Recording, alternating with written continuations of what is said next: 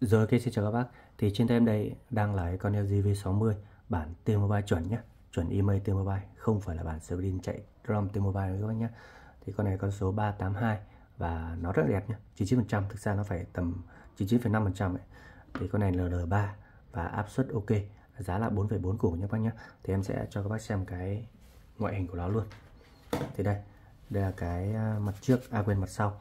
Thì các bác có thấy cái mặt lưng nó còn rất là đẹp nha các bác nhé đó, gần như là không có vết xước luôn ấy. mà cái vết này là vết uh, vân tay dấu mồ hôi thôi. Đấy và cái cụm camera cũng thế. Còn rất là đẹp luôn các bác này. Được các bác cái nghiêng ánh điện cũng không gần như không có vết xước nha các bác nhé. Đó. đó rất là đẹp luôn các bác nhé. Đó. rồi. Thì đây là cái cạnh dưới này. Cạnh dưới là rất đẹp các bác nhé. Gần như là không có vết xước nào cả. Cổng sạc còn rất mới nha các bác nhé. À, không có vết xước nào rất đẹp các bạn nhé. À, đây là cạnh à, cạnh trái đây. Cạnh trái cũng thế các bạn nhé. Rất là đẹp luôn. Không có vết xước nào cả. Rồi. Thì đây là cái cạnh trên này. Cạnh trên cũng thế. Rất đẹp luôn các bạn nhé. Không có vết xước nào cả. Rồi. Và đây là cái cạnh à, phải cũng thế. Rất là đẹp các bạn nhé. Không vết xước nào cả luôn. Đấy nói chung là cái khung viền con này thì quá đẹp rồi. Nó chả có vết xước nào cả cái uh, mặt lưng cũng thế rất đẹp đây là cái mặt trước này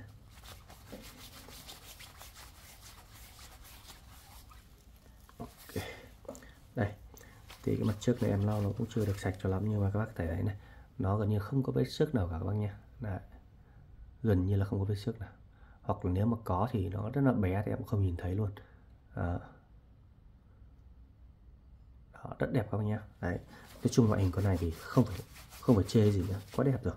Đấy con này chê thì mỗi cái nó còn L3 thôi. Bắt đầu mà yêu yêu yêu yêu yêu bộ môn L thì thì các bác không thích rồi chứ còn nó rất là đẹp. Rồi thì em sẽ test cái ờ, chức năng cho bác xem nhé à, ờ, trước tiên là cái ờ, âm thanh này ok hết nha các bác nhé đó cái này các bác nhìn nhiều người bác cứ tưởng cái giống này là hỏng không phải đâu các bác nhé do cái app Google này, nó giờ hơi hơi giờ hơi tí này xóa đi này hết rồi. đó. Và đây. Ôi, pin yếu các bạn. Đây. Wifi bình thường hết các bạn nhé đây, em sẽ kết nối luôn. Ôi, nhầm à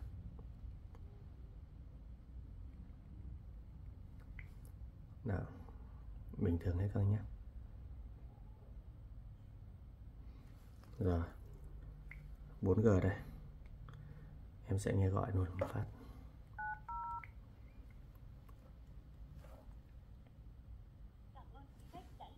Tiệm cận bình thường các bạn nhé.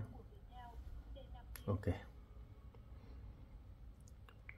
Dấu vân tay bình thường nhé vân tay đây bình thường nhé xem con này đang chạy Android mấy nè thì con này đang chạy Android 12 rồi nhé thì V60 nó có Android 13 rồi đấy. Các bác uh, up lên thử xem nhé ok. Ngoài này thì còn cái camera nữa. Đó, rất là đẹp luôn các bạn. Ok các bạn cắm trước này, bình thường hết nha các bạn nhé. Rồi, ngoài này xem còn gì nữa nào. Đây thì cái à, DRM info này, cái này L3 nha các bạn nhé. Ok, em sẽ cầm cái máy tính.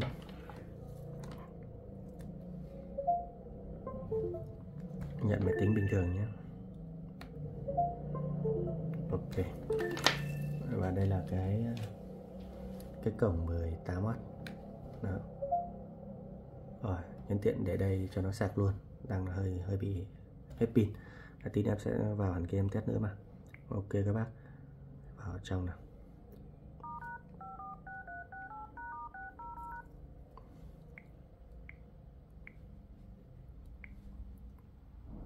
Đây, tiệm cận ánh sáng bình thường nhé các phím bấm này.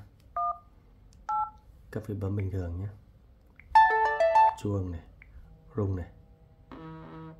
Rung rất mạnh. Còn quay hồi chuyển này. Ok, hết nhau nhé cắp mic này. Mic dưới này.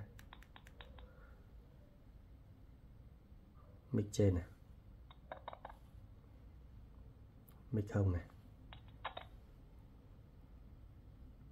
Mic ở lưng này. Ok các bạn nhé cảm ứng này.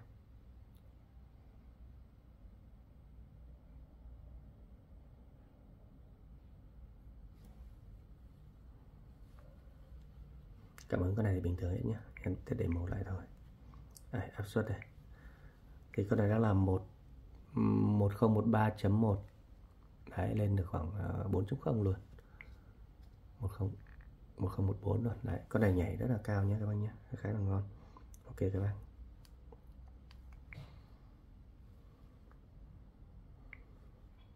đây IMPL 1 các bạn Đó, 382 pin này không quan trọng. Cái uh, màn hình đây thì màn hình của con này còn rất là đẹp này các bác nhé.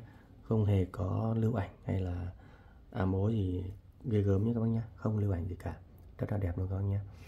À, thì à, mỗi lần em test trên cái à, màn hình này thì em hay nói là tại vì à, nhiều bác cứ ờ, dùng V60 không quen ấy cứ thấy màn hình nó hơi hơi hơi vàng vàng một chút thì bác nghĩ đấy là lỗi nhưng không phải các bác nhé. Thì màn hình V60 bình thường nó cũng đã hơi vàng vàng rồi các bác nhé. Đấy nhất là nó đã 4 năm tuổi rồi thì nó cũng sẽ không được ừ, nét như ban đầu nữa. Thực sự là uh, như ban đầu thì cũng không biết không không dám chắc tại vì uh, em lần đây em cũng có thay một số cái màn hình ờ, V60 mới tinh luôn thì nó cũng hơi ấn vàng như vậy nha các bạn nhé. Đấy cho nên đây không phải là lỗi mà nó chỉ là cái màn hình của V60 nó như thế thôi. Rồi em sẽ test luôn đến cổng C này. Đây đang là CC2 này lên 6% này này. Đó.